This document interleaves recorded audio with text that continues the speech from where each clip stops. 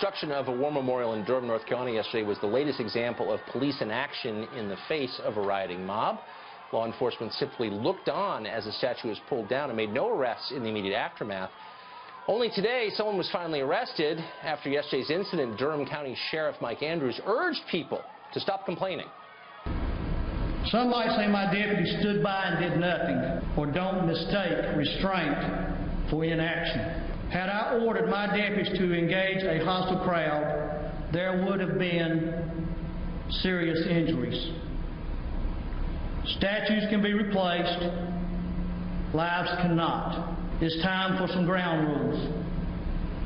We must make clear what is acceptable and what is unacceptable behavior. No one is getting away with this. In other words, don't worry that the police let anarchy reign because they're watching videos of what happened and they're going to try to identify and arrest the people responsible at some point. We hope you're assured. Imagine the fire department making the same case. They're going to let your house burn down, then they're going to sift through the ashes to try to find the arsonist afterwards. And by the way, don't complain. Well, the message of all this is clear, of course. The left has free reign to destroy what they don't like, and police will do nothing about it. We've seen that a lot. What will they feel empowered to destroy next? Well, Stacey Abrams, a Democrat running for governor of Georgia, has already demanded the destruction of Stone Mountain. That's the world's largest bas-relief sculpture. It's an artistic masterpiece, by the way, but it commemorates Confederate figures, so she wants it taken off the wall. That would put it in the same league as the Taliban, which you'll remember blew up immense ancient stone Buddhas because they offended the official ideology. If you've got views the left doesn't like, this should give you pause, especially now that we know the police won't intervene. What can't they do to you? That's a question that ought to be rattling around your head. Vincent Hill is a former Nashville police officer.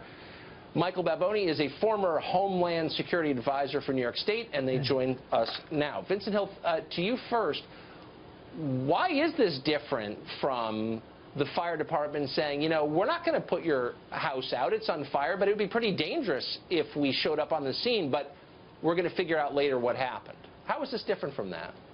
Well, Tucker, thanks for having me. I, I, think there's a huge difference. Of course, when there's a fire, there's an immediate, imminent threat of a loss of life, right? So what the police in Charlottesville were dealing with, and we've seen it from the left time and time again in these anti Trump protests, the Black Lives Matter protests, where people, when police show up, they immediately escalate. They don't want to listen. They start to throw rocks, urine at police. So I think the police were right in watching and a, a, lot of people don't realize they were actually keeping the peace because you can actually arrest someone at a later time if you have probable cause to do that. So I think if police would have shown up in riot gear, we would have had the left, again, once police had to use force because someone wanted to resist or use force against them, then we'd have the left saying, look, look at these white racist thug officers that are there beating on these people. So it would have fed into what the well, there's no doubt. I mean, you're right. See. You're right. They would have. They absolutely would have said that. On the other hand, Michael, what's the point of having police if they don't stop violence while it's occurring? And by the way, people were hurt in Charlottesville. And the police didn't do anything about it. I mean, it was discouraging to watch that. Uh, the purpose of a, of a police officer is to protect life and property, preserve the peace, and I think we're kind of missing the point in terms of this whole event. Where were the police? Not when the moment of the violence occurred, where were they beforehand? Good policing involves intelligence. It involves people on the street, knowing what's going to happen, anticipating the violence that could erupt, and putting resources to apply that. This is such an ironic situation in the sense that, yes, we could prevent something from happening by not getting engaged. But if you take that to the extreme, what would happen if you had an active shooter in a school and you had a police officer show up and said, I'm not going to go into the school, I'm going to wait for backup because it may be too dangerous or maybe I could escalate the situation. That response has been rejected after Columbine. So there is a responsibility, but it begins way before the violence occurs.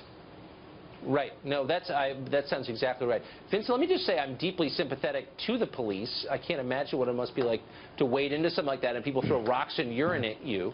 But I also I get the sense in watching these, not just in Charlottesville, but also in Baltimore and in Ferguson and Berkeley, that the police are being told by the political figures to whom they report don't get involved. This is a political decision coming from on high. I wonder if you think that's what's going on. Yeah, and that very well could be the case, Tucker. I mean, when you look at it from a number standpoint, and I always look at things factually, right? When you look at the size of these crowds, take Durham, for instance, you had a crowd of over 100 people. I'm sure you didn't have that many officers there on the scene, right? So let's say you had to call for backup. Let's say you had to call other officers in. Then you've taken those officers off the street to allow other crimes to happen. So, you know, when you're looking at things like that, it's a lot easier to say, yeah, I'm going to Monday morning quarterback this when you're not there and you're not having to make these decisions in real Right. time. Of course, well, of course it is. That's why we hire the police. That's why we give them money and, and guns, so they can make those hard decisions. No, I'm, I'm not being glib. I'm being sincere. That's why we respect the police because it's a really, it's a hard gig. So, Michael, what do you think was going through the minds of cops in Durham yesterday when this group of angry children pulled the statue down and they had to stand there? Like, do you think the average cop wanted to stand there? I, I can't imagine that they did. Uh, one of the ironies, of course, is that the picture of the woman who's, who's climbing up on that ladder, if she had fallen down, would she have been able to sue the, the um, municipality saying, wait a minute, why, how, I got hurt by doing this. Why didn't you protect me? That's a part of the irony here. When you come in, you have to establish the rule of law. There is no protected speech that is violent. It just isn't. So what you do is you separate the folks. And, by the way, this didn't come out of the blue. You had Charlottesville beforehand. It's about a 360-degree awareness as to what's going on, not just in your community, but around. And so the folks in Durham didn't think this could possibly happen. Well, they need better intelligence from my perspective. And by the way, it is the job of folks in government to do the Monday morning quarterback because we're going to be a part of the review panel and the review board to say, were the actions of the police officers appropriate? It's our job. Right. And this is going to happen again. Gentlemen, Michael Vincent, thanks all for coming on. I appreciate it. Tucker, always a pleasure. Thanks.